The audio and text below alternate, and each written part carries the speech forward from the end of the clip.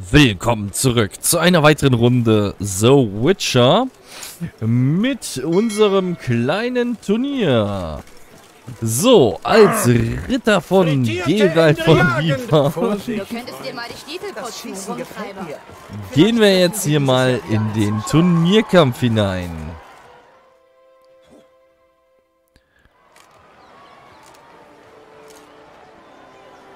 Geralt, also sowas. Ist aus dir ein fahrender Ritter geworden? Spaß beiseite. Ich bin beruflich hier. Nimmst du auch teil? Ob ich teilnehme? Haha! ich werde Reinfahren von Atre hinwegfegen. Gerade habe ich ihn noch gesehen, ein Nervenbündel. Stopft sich die Nase mit Fistech voll, als könnte ihn das stehlen. Ist denn das regelkonform? Wer will schon einem Nilfgaarder beibringen, sich an die Regeln zu halten? Hör mal, Gerald, ein Rat. Leider wird bei deinem Zielschießen-Duell die Sonne dir genau ins Gesicht strahlen. Das ist mir völlig einerlei. Aber toll ist es nicht. Wir müssen doch jetzt beide warten. Spielen wir derweil eine Runde Quint. Wenn du gewinnst, tausche ich mit dir. Ich komme aus dem Süden, mir macht die Sonne nichts. Zu einer Partie Quint sage ich nie nein. Na gut. So, aber ich werde diesmal nicht mit Skelliger antreten, sondern mit meinem Lieblingsdeck. Wunderbar. Einmal mit den Königreichen gegen Skoyatel. Mhm. Oh. Das sieht schlecht aus. Jawohl. Der muss auch raus. Ah, okay. So, na gut. Dann wollen wir mal gucken, was die Skoyatel heute so drauf haben. Erstmal ziehen wir zwei Karten. Holt er noch mehr Truppen raus.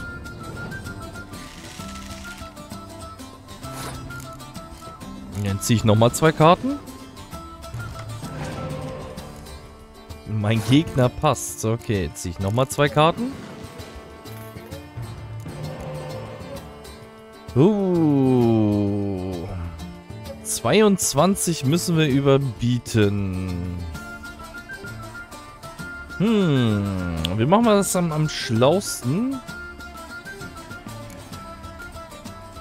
An und für sich. Machen wir einmal so. Und dann machen wir einmal... Ja, komm. Gerald. Und jetzt brauchen wir noch eine. So. Haben wir die Runde gewonnen? Ziehen nochmal eine Karte nach. Dann fangen wir erstmal an. Jetzt lassen wir den Gegner mal ein bisschen zappeln. Okay, gut. Na, ist aber ein bisschen wenig. Sind aber auch Nahkämpfer. Na gut, machen wir erstmal weiter. Mehr Druck. Okay, 15. Er muss nachziehen. Okay, gut. In Ordnung. Mach nicht zu viel Druck. Aha.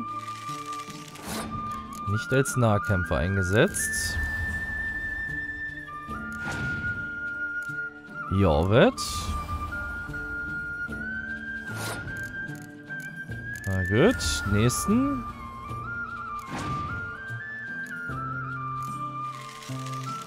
Sehr schön. Könnte ich jetzt mit dem Verbrennen treffen, ne? Dann würden wir es auch mal machen. Das hat sich schon mal gelohnt. Strömender Regen. Oh nein. Der strömende Regen. Ja. Der ist nicht schön. Aber wir ziehen dir nochmal 10 Punkte ab. Das war mir klar. Jetzt die Frage. Ne, nehmen wir erstmal die Finsternis. Und holen uns nochmal ein paar Punkte. Dann holt er sich den Nebel ran. Okay. Und das war deine letzte Karte. Somit sage ich, gutes Wetter für alle. Ah. Und jetzt muss mein Gegner passen. Na gut, wir hätten jetzt hier nochmal wunderschön eine Wiederbelebung.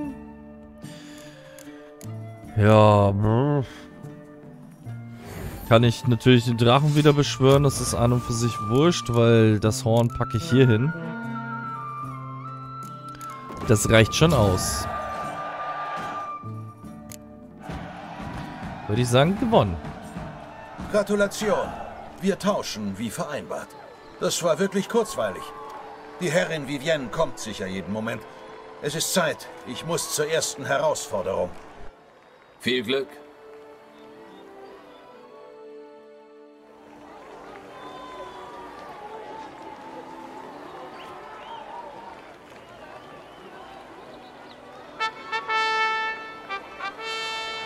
Edle Ritter, ich begrüße euch. Dieses Jahr ist die Ehre und Pflicht, dem Turnier als Patronin vorzustehen, mir zugefallen. Möget ihr ehrenhaft kämpfen, auf dass ich einem von euch den großen Preis des Turniers verleihen darf. Ihr habt eure Eide geleistet und Körper und Seele vorbereitet. Es ist an der Zeit, dass ihr euch bewährt. Na denn?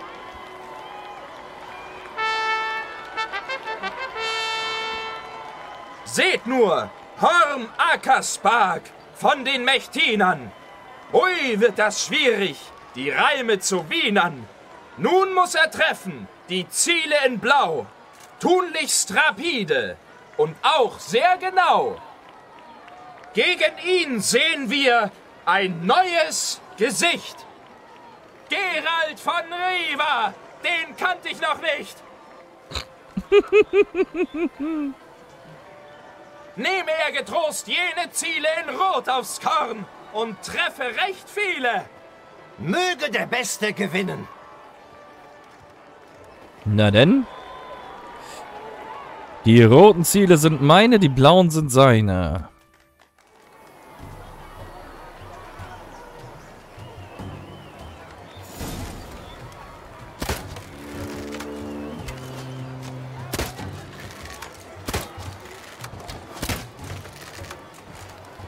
Und Gerald erfährt einen bitteren Spagat.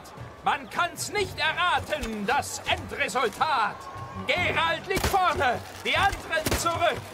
Sehe ich das richtig? Welch seltsam Geschick. Okay.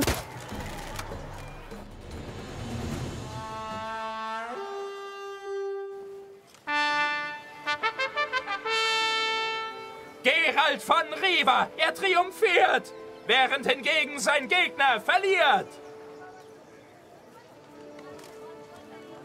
Naja, gegen eine Armbrust, ne? Uh. Dein Preis, Herr. Eine Armbrust, die dein Wappen trägt. Ich gratuliere dir. Danke, Herrin. Gerald von Rivas Armbrust.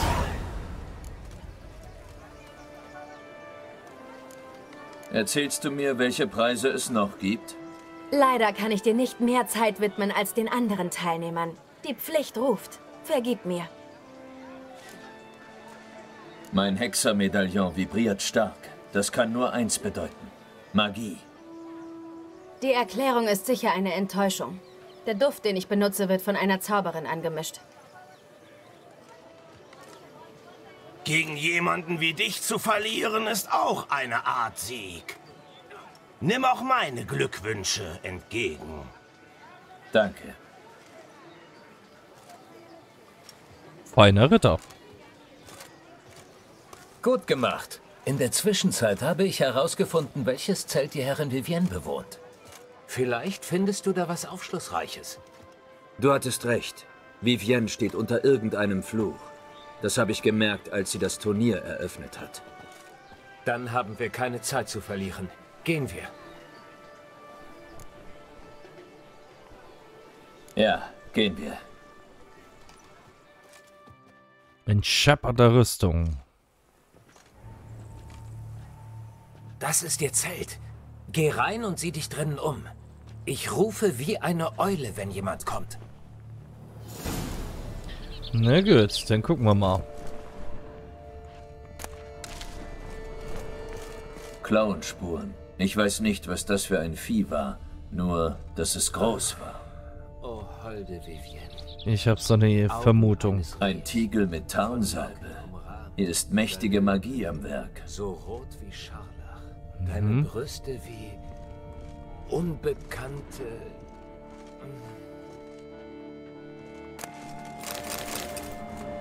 Gut, haben wir hier noch was drin? Klauenspuren. Ich weiß nicht, was das für ein Vieh war. Nur, dass es groß war. Okay. Pirolfeder. Hält Vivienne sich einen Vogel? Wenn ja, hier ist keine weitere Spur von ihm. Hm. Ruxe mögen Vögel.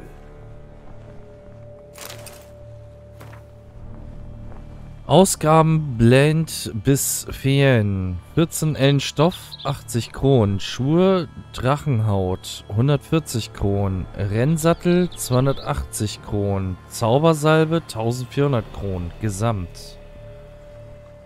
Mhm.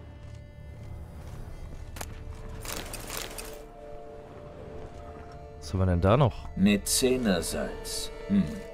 Damit macht man Kompressen.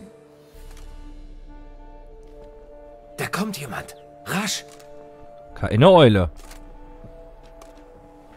Du wolltest doch wie eine Eule rufen.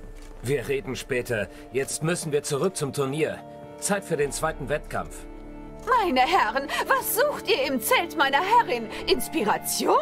Hebt euch hinweg!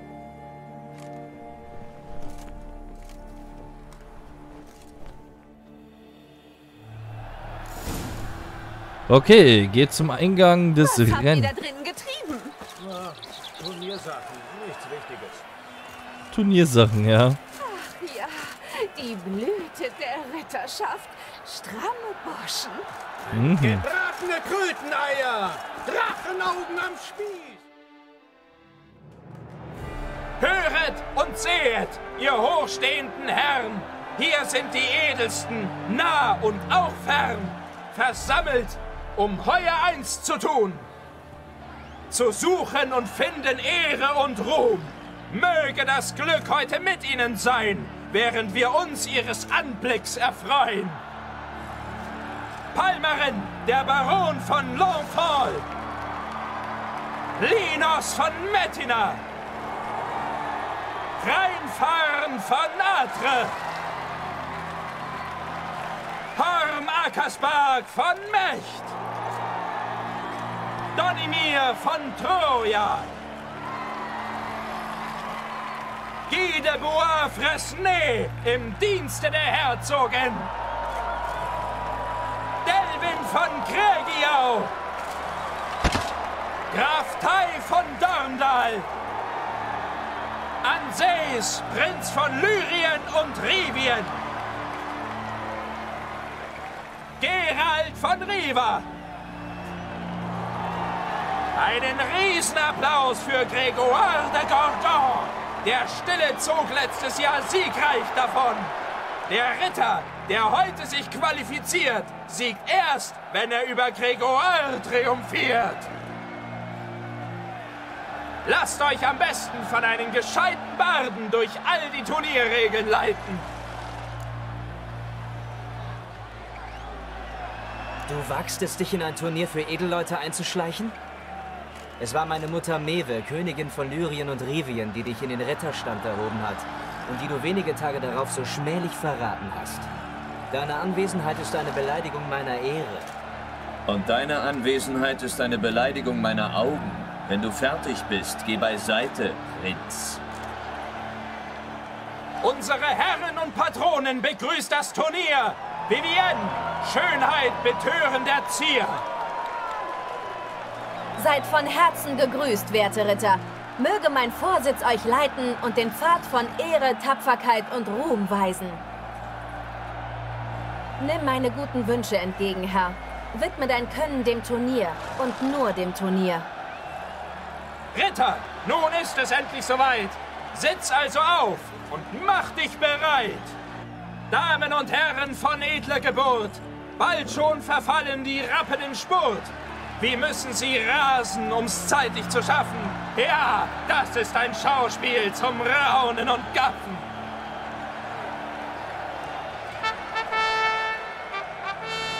Seht, wie die Stute von Gerald dahin fliegt und seine Frisur sich adrett in den Wind schmiegt.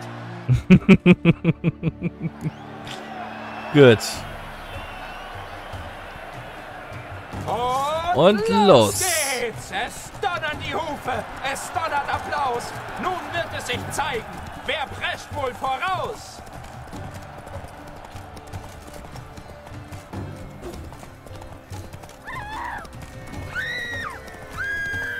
Okay. Ah, Meister Hexer, du suchst nicht zufällig einen Lehrling? Nee, Lehrling suche ich gerade nicht. Muss zusehen, dass ich die Ziele sehe und die Karte im Auge behalte.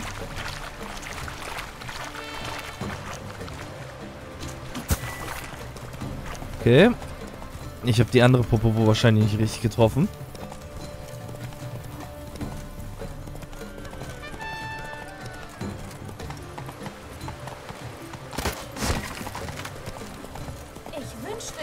Plätze verliert trotzdem immer wieder was.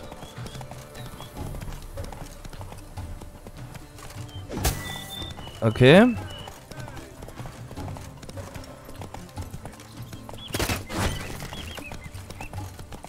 Na komm, Plätze, gib Gas, gib Gas, gib Gas.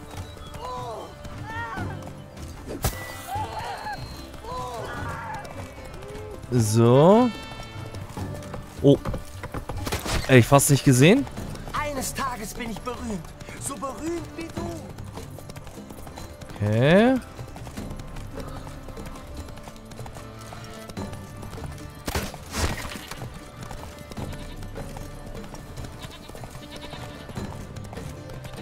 Na komm, weiter, weiter, weiter, weiter.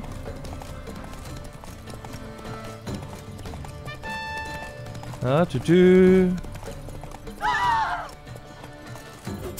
Boah, das war knapp. Monster Mamas? Ich weiß nicht, ob Monster Mamas haben.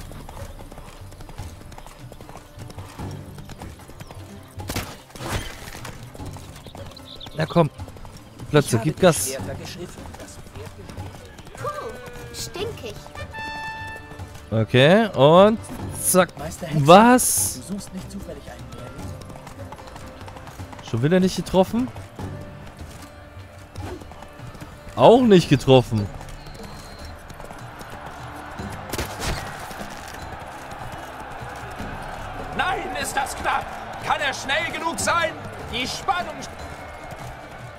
So ist's gut. Was für ein Rennen! Ein großes Abenteuer! Feiern wir! Zünden wir helle Freudenfeuer! Zu Ehren der ruhmreichen Ritter! Habt Acht! Feiern wir nun die ganze Nacht! Um die Teilnehmer zu ehren, wollen wir Folgendes verzehren. Die besten Speisen, die feinsten Weine. Wer noch lebendig, der holt sich das Seine. Gratulation. Hier, nimm deinen Preis. Einen Sattel mit deinem Wappen. Vielen Dank. Hm, übrigens hat mein Kammermädchen gesehen, wie ein weißhaariger Mann aus meinem Zelt geschlichen kam. Du weißt nicht zufällig, wer das war? Keine Ahnung. Wie kindisch. Gratulation zum Sieg. Und was für ein Sieg das war. Ich bereue fast gar nicht mehr, dass ich nicht teilnehmen konnte. Darauf müssen wir trinken. Komm mit zum Fest. Wir warten zusammen auf Vivienne. Geh du voraus.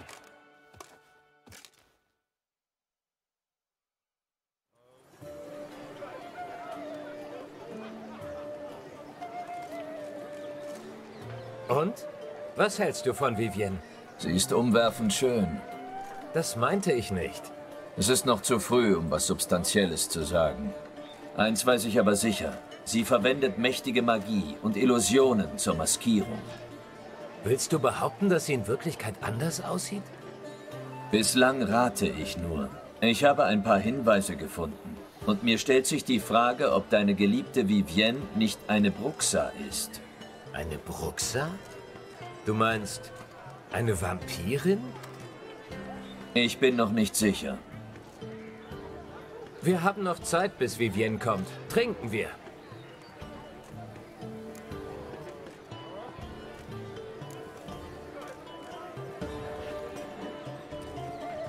Auf Vivienne. Mögest du einen Weg finden, ihr zu helfen. Auf Vivienne.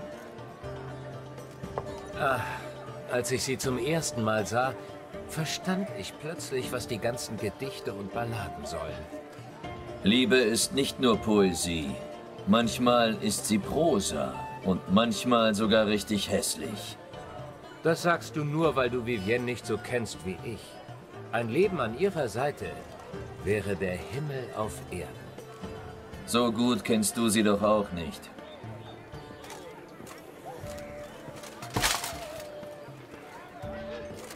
Deine Anwesenheit bei diesem Turnier ist eine Beleidigung meiner Ehre. Ich bestehe auf Satisfaktion. Dann geh doch ins Bordell. Feigling! Berittener Kampf in der Arena. Ich fordere dich heraus. Da du darauf bestehst, ich bin ganz dein. Du sollst noch bitter bereuen, dass du die Armee meiner Mutter einfach verlassen hast. Na gut, Möge berittener das Blut, Kampf. das ich vergießen werde, die Schande deiner Feigheit abwaschen. Bringen wir es hinter uns. Schnell. Drei, zwei, eins. Ah, dieser Gestank.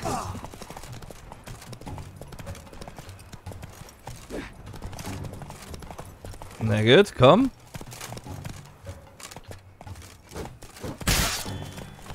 Das war jetzt nicht so gut getroffen.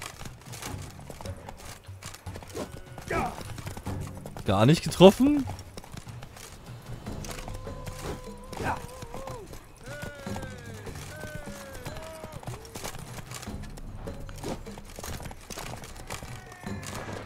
Jetzt komm doch mal her hier. Jetzt haben wir getroffen. Die Götter haben dich für deine Feigheit gestraft. Was? Bla bla bla. Du hast gewonnen, fertig. Jetzt lass mich was klarstellen. Ich musste damals das Lager deiner Mutter verlassen, weil jemand anderes meine Hilfe brauchte. Und zwar dringend. Ich konnte und wollte diese Person nicht im Stich lassen. Pah!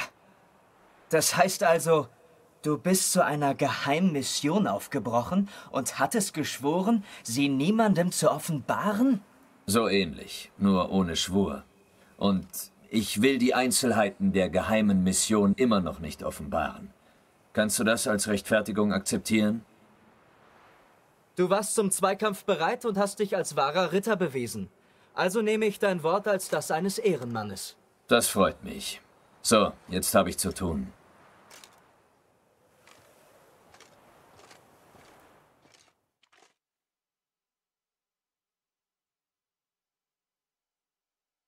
Wir haben jetzt verloren, weil wir rausgeritten sind, weil er rausgeritten ist. Unfair.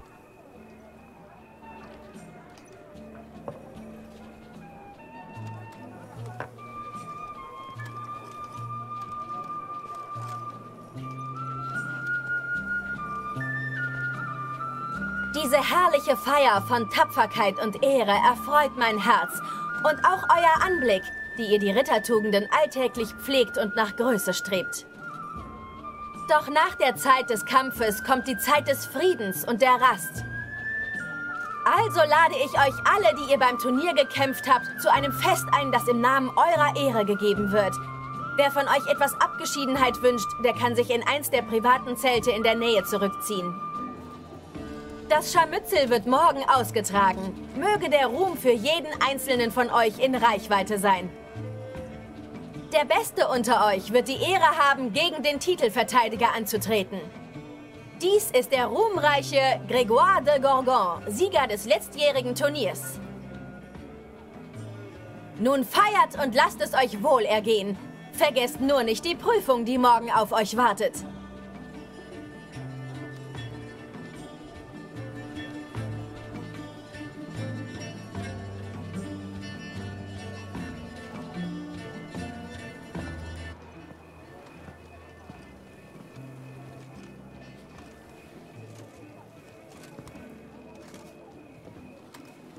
Folge ihr.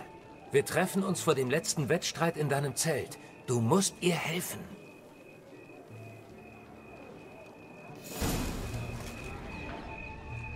Na gut.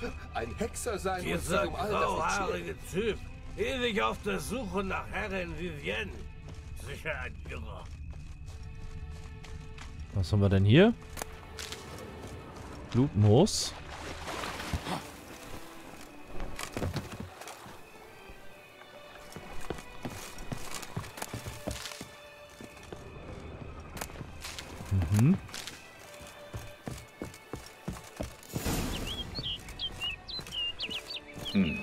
Seltsam. Ich war sicher, dass ich sie hier finde. Verschwunden. Einfach weg. Und dann dieser Vogel. Ist sie eine Bruxa?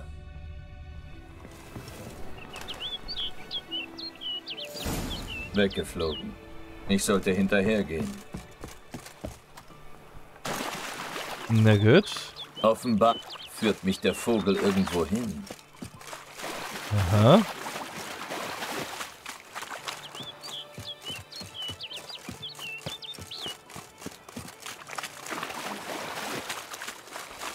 Na, wo will der Vogel denn hin?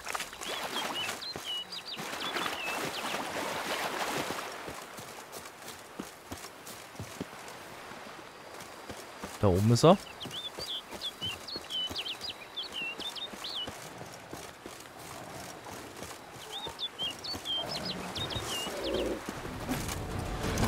Natürlich haben wir hier jetzt noch einen Panther.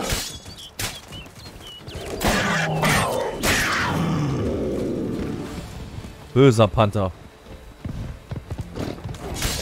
Natürlich kommt noch mal ein Wildschwein.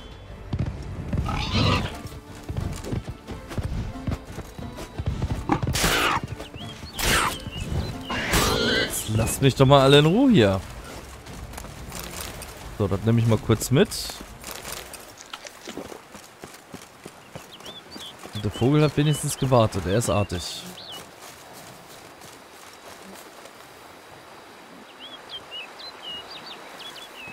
Will der Vogel denn jetzt ganz hin? Nochmal ein Panther. Na komm.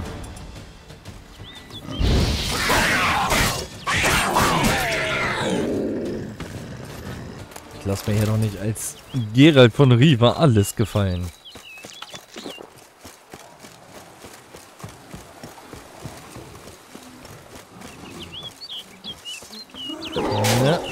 Jetzt reicht's aber.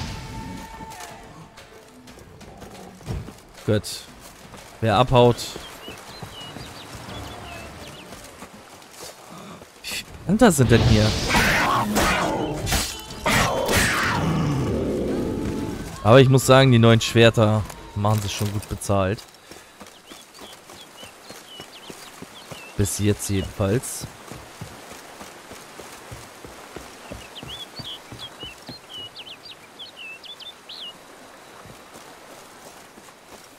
Der denn jetzt ganz mit uns hin?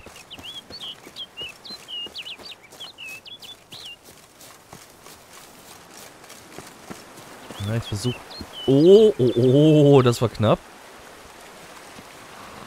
Der Vogel ist über den Hügel geflogen.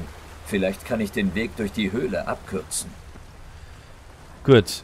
Aber bevor wir jetzt in diese Höhle reingehen, machen wir hier an dieser Stelle einen klitzekleinen Cut und wir sehen uns dann in der nächsten Folge hoffentlich schon wieder. Also schaltet wieder ein und bis denn.